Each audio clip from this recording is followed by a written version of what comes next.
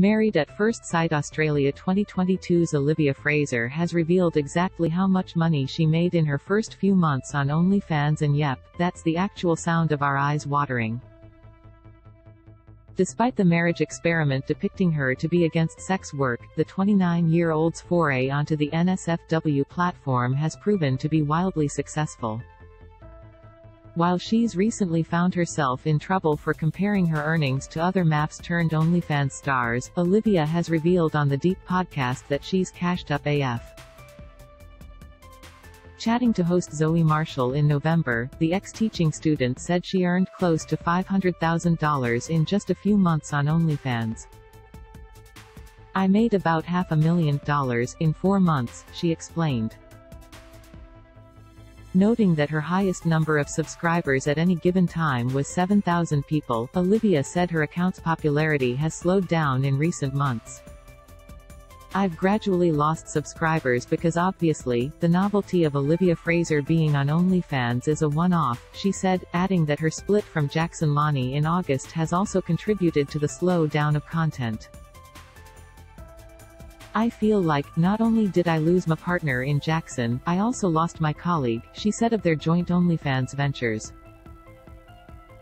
It's taken me a while. I feel like I'm getting my groove back.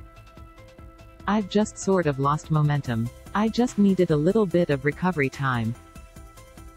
Olivia Frazer weighs in on whether OnlyFans is a long-term career while she admitted to being passionate about her OnlyFans career. Olivia said her current line of work is not forever. I don't plan on doing OnlyFans forever, but I do plan on killing it while I am in the game, she told Zoe. Long-term, the Central Coast local said she does plan on investing in property, and relocating to the UK, where she previously lived prior to Married at First Sight. I do want to move back to the IC eventually and just buy a nice little cottage in the country and just like, walk my dogs and collect rent from other properties, she confessed. That's just what I want to do and have a nice quiet life. Want even more goss? Listen to episode 232 of the So Dramatic podcast with Megan Pustetto below. Know something that we don't? Spill the tea here, get the tea first. Follow So Dramatic on Instagram and tune in on Tuesdays to get your reality tea fix with the So Dramatic podcast with Megan Pustetto.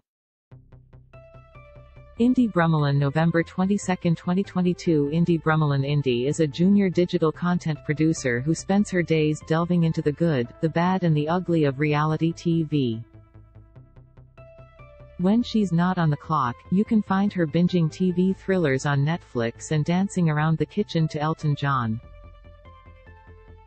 Favorite reality TV show, Beauty and the Geek Most iconic reality TV star, Abbie, I'm a Gemini Chatfield, BATG's Lachi Mansell comes in a close second.